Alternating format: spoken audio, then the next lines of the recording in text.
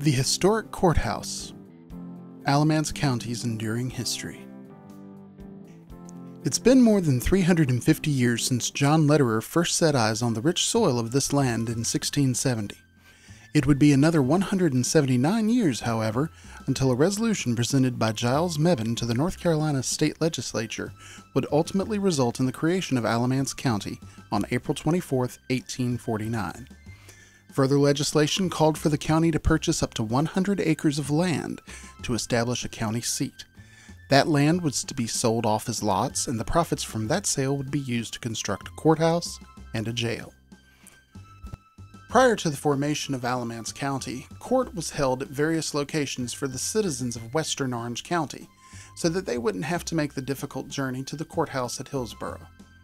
One of those sites is believed to have been located off of what is today called Basin Road, northeast of the town of Haw River and east of the town of Green Level, near Graham Mebane Lake. Once Alamance County was established in 1849, the county court and commissioners met at the now demolished Providence Meeting House near the Providence Christian Church in Graham. The first meeting of the county commissioners was held on June 4, 1849, and after setting a local property tax rate of 35 and one quarter cents and a poll tax rate of 73 and three quarter cents, the commissioners turned to the business of the courthouse. A budget of $8,000 was set to purchase land for the county seat and to build the new courthouse. The original plan was for the courthouse and county seat to be located near the center of the new county, but the land there near exit 147 in Graham was too soggy and marshy, and so the seat was moved a short distance north. A square of 75 acres of land was purchased for $623 from three farmers John A. Holt, Joseph M. Freeland, and William Clendenin. The purchased land was subdivided into lots, which was sold for varying prices to local groups and investors for over $5,500, save for a 297 foot square in the center, which was to be reserved for the courthouse square. The 1852 courthouse was constructed with brick for $6,400, or around $163,000 in 2009 money. The roof was supposed to have been made of either tin or zinc, but there's some indications that it may have been copper at some point during its history. It featured a cupola at the top of the building which housed a 400 pound bell, which is believed to be the only surviving piece of this original courthouse, and which currently resides at Sesquicentennial Park in the courthouse square in Graham. By the 1880s, after 30 years, a civil war, and a host of other local events, the courthouse's limited space and age were beginning to be a factor, and so the county approved the addition of east and west wings. Additionally, the outside of the courthouse was stuccoed. These additions cost $7,500 or $177,000 in today's money. Three decades later, a memorial to Confederate soldiers was added to the grounds and dedicated on May 21, 1914. The original courthouse was much smaller than our present courthouse, with only two floors of space and with the width of the courthouse being not much larger than our current courtroom. That small space was shared by all branches and levels of government federal, state, and local. While there are persistent rumors of a fire at the original courthouse, it was the lack of space that fed the decision to tear down the small, aging building, which was demolished in 1923 to make way for its replacement. The historic courthouse's cornerstone was laid on November 17, 1923. Just over one year later, on November 23, 1924, the courthouse was dedicated by Judge W. A. Devin. At the time, the four story courthouse was considered to be one of the best examples of modern architecture in the state of North Carolina, and the $253,925.82 cost, or $3.16 million in 2009 money, reflected that. From that time on, the courthouse in Graham became a major center for town functions, community gatherings, and of course, government business. It has been used for celebrations and anniversaries of important historical events, cultural and intellectual events and speeches, weddings, and even the occasional fashion show. It was also used extensively during the 1920s and 30s by the local African American community as a center for social activities after church services on Sundays. The courthouse was designed by architect and Greensboro resident Harry Barton, who also designed the Guilford, Cumberland, and Johnston County courthouses. The design comes from the neoclassical revival style, which was a popular style from the 18th century until the Great Depression. Other examples can be seen in buildings like the Lincoln Memorial and Grand Central Terminal. Some of the unique elements on the outside of the courthouse include the flat roof concealed by a parapet wall and balustrades, the raised first story, the hexastyle portico with fluted Doric columns topped with acanthus and palmette flourishes, and matching pilasters found throughout the structure decorative friezes, and subtle use of multiple colors in the terracotta building material. Looking past the granite stairs and columnar iron lamps, the entrances to the courthouse feature entablatures resting on scroll consoles and decorated with a crest of anthemion and palmette antefixes. And of course, there are the large words, Alamance County Courthouse at the very top of the portico. Stepping through the doors, we enter the central hallway, an open, spacious hall trimmed with fine wood and boasting an impressive ceramic mosaic tile floor, all culminating in the central octagon where a marble medallion radiates outward. The four doors that lead from the center of the first floor point to the compass points, with the door leading to the Confederate Memorial being north. The first floor of the courthouse houses the offices of the Clerk of Court. The ceiling of the first floor features a type of molding that resembles teeth and is referred to as dentil tooth molding. The molding in any of the rooms where the original ceiling is visible can sometimes reveal information about the original government agency that occupied that room. Some rooms have very plain molding and were used for functions like agriculture. Others, such as our courtroom, feature very detailed molding and were used to house agencies and conduct functions that were considered to have more prestige.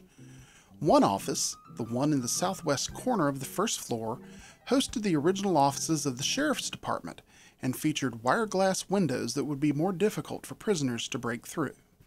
As a part of the recent refurbishment project, the entire first floor was extensively reworked to bring the courthouse back, as closely as possible, to its original 1924 appearance, and also to make it a more accessible workspace for those who work in the courthouse.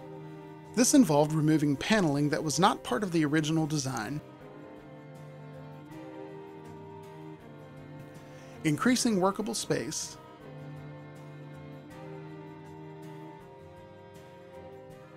improving temperature control,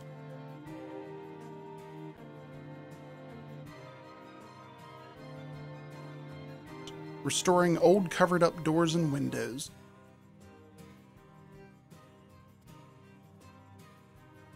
and replacing windows to improve temperature management and reduce noise.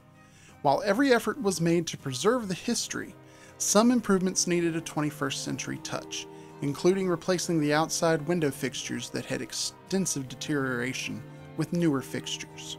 The basement area was also extensively refurbished. Improved lighting makes the basement feel much less cramped and helps to increase usable space. Extensive waterproofing has also been done to help prevent damage from decades of leaking roofs and pipes.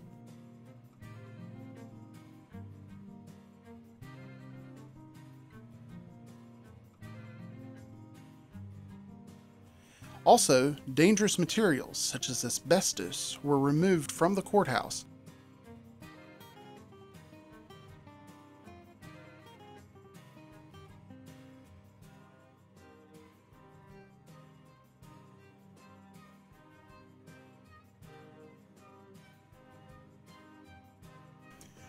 And while refurbishing restrooms may not be glamorous, the extensive refurbishments done to these restrooms will be a welcome change to anyone who's ever needed to use one.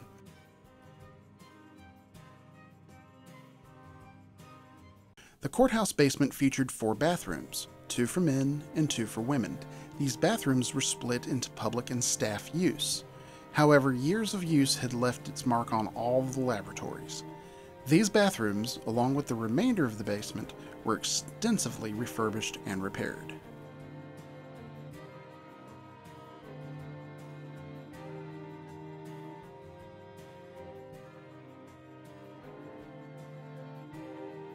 Moving out of the basement, we focus on the courthouse stairs.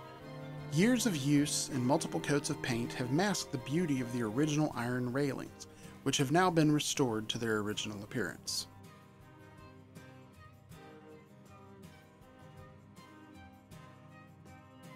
In the corners of the courthouse are rooms that were originally used for county and state government offices, but which will now be used for court officers, clerks' offices, and other uses related to the function of the courthouse. As with many neoclassical revival buildings, more flourishes were placed into the large, impressive spaces than into the smaller functional rooms. However, each room has its own use and its own character, and each one was extensively overhauled in order to improve its usability, improve temperature control, meet accessibility guidelines, and repair damage done by decades of wear and tear. This includes internal damage done by leaking pipes and a damaged roof. While the roof itself was repaired in 1996, the water damage remained. Now that damage is repaired and the rooms are ready for their assigned uses. Finally, we move into the courtroom, the grandest space in the courthouse. The courtroom features an impressive set of architectural features, including the dentil tooth moldings found on the first floor, pedimented overdoors, cornices, and raised panel doors and wainscots. The large balcony and beautiful chandelier augment this stately room, and the original judge's bench from 1924 is a capstone that enriches this impressive space. Major renovations were done to the courtroom to improve upon the years of use. For many years, the courtroom windows were walled up to prevent noise from interfering with the business of the courts. Thanks to improvements in window technology, the old windows were able to be replaced with new ones that would keep out the noise, but still allow natural light and heat to be used, and as closely as possible restoring the courtroom to its original 1924 appearance. The use of natural light and heat will also help to reduce energy costs. Other additions include the replacement of most of the chairs in the courtroom with better quality seating,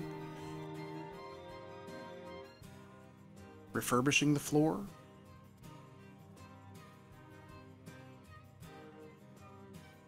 restoring the wood to its original appearance,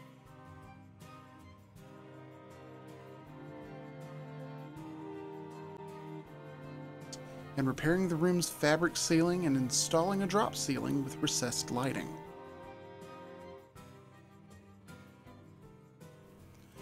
A beautiful paint scheme of yellows and off-whites augment the intricate varnished woodwork over the judge's bench.